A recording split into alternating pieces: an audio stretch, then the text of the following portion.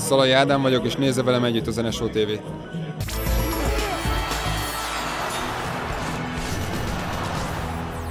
Tudatos,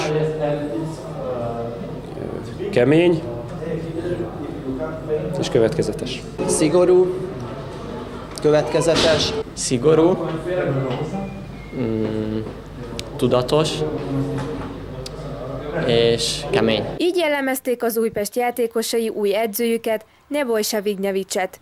A 45 éves szerb szakember keddeste írta le a lila fehérekhez, és szerdán már edzést tartott Újpesten. Tényleg nagyon szigorú és kemény, pörgős edzések voltak tényleg, amit így egy két nap alatt megtehet az edző. Úgy gondolom, hogy maximálisan megtette, tényleg felrázta a csapatot, tényleg ebből a negatív, ugye, hogy utolsó helyen állunk, úgyhogy kirázott minket ebből a szituációból.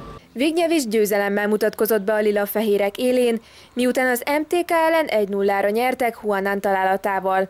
Nem csak az új impulzusban keresendő a siker, hanem... Más játékrendszert játszunk, mint eddig játszottunk, és lehet, hogy ez a keret most úgy néz ki, hogy erre a játékrendszerre alkalmas. Mondom, egy mérkőzésben nem szabad kiindulni, de, de mindenki küzdött mindenkiért, és, és és ö, ezt kell most figyelembe venni. Neboj Sabinyevics az előző szezonban a Vojvodinánál dolgozott, ahol kupa döntőbe jutott a csapattal, és sokáig második helyen álltak.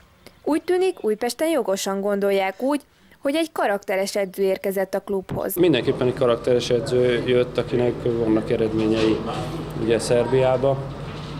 Ö, igen, ő is elmondta ezt, hogy most egy más témára, hogy nagyon sok a sérültünk, megint két ember megsérült, úgy már megint egy csapatra való sérültünk van, úgyhogy ezen kellene valamit változtatni, vagy ennek hátterét megtudni, mert azért nem olyan gyenge keretünk, hogy mi ne legyünk ott a, a tabella első felé. A hat forduló óta nyeretlen Újpest tehát felállt a padlóról, és abban bíznak, hogy az edző tudatossága és keménysége a csapatra is az átragad, és már azt mondom, hogy ma is lehetett érezni, hogy együtt volt a csapat, agresszívak voltunk, és hogy mindenképpen egy stabil és jó focit játszó csapatra számítok, és remélem, hogy így is lesz.